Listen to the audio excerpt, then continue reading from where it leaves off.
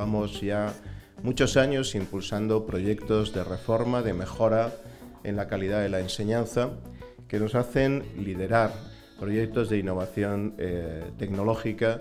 Este es un ejemplo en el Colegio Santo Domingo, porque muy poco tiempo ha conseguido que este colegio se haya convertido también en un referente del uso inteligente de las nuevas tecnologías aplicadas a la educación.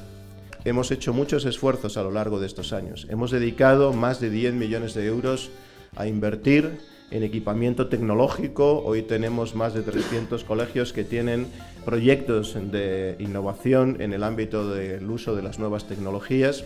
Tenemos 15 institutos tecnológicos, tenemos 178 aulas de tecnología y hemos querido reforzar en los últimos años todas estas iniciativas, no solo dotándoles de los medios tecnológicos, sino valorando los proyectos que se desarrollaban con estos instrumentos.